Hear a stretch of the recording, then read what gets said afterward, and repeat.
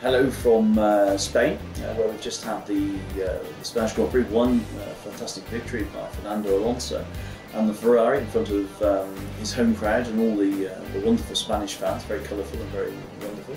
Uh, an exciting race, an eventful race. From our point of view, we had four pit stops, and that's one too many. we've always said we aim for two to three, and it's very complex, we understand, for fans to follow four pit stops, although from another perspective, some people are telling us that the Spanish Grand Prix used to be the most boring uh, races of the season and there was a little bit more movement than normal. But we admit we don't really want to see um, four pit stops on a regular basis. In fact, we've only seen once before in uh, Turkey in 2011. And why are we seeing this? Well, the cars are certainly pushing a lot harder than what we've seen in the past. Uh, the downforce levels are getting close to 2011 when the cars had the blown diffuser. Uh, we also uh, are seeing that with our new structure of tyre we're pushing much harder the compound so combining those two together and we're finding that uh, we, we, are really uh, working the compounds much more than we have done in the past.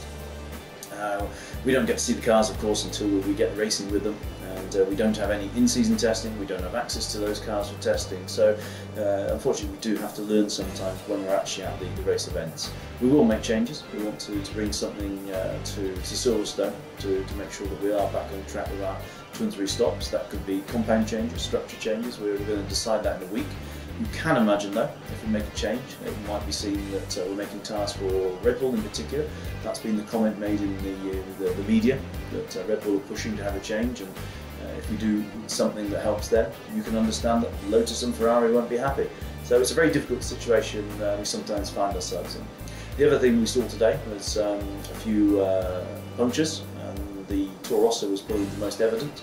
Um, there was a very clear coming together with the Sauber and the cutting in the tyre and that, that created the uh, delamination that we saw. Uh, I repeat again, it's not uh, something that happens by chance there is definite contact. Last year you would have actually punctured the tyre. Uh, this year the tyre stays inflated but the weak point becomes the compound as it heats up due to, due to the cuts that are put into it. It's, it's not very good to be honest from a uh, tyre maker's point of view because visually it's, it's very dramatic. Um, you could say from a safety point of view it, it's better. If last year it would have deflated, uh, this year the, the tyre stayed, uh, stayed up. Uh, they then put on a new set of tyres in the Toro Rosso. Um, unfortunately, the bodywork had been damaged and it cut through the, the tyre in the same manner just again. Uh, that's it. We're off to Monte Carlo next, and we hope for another stimulating race.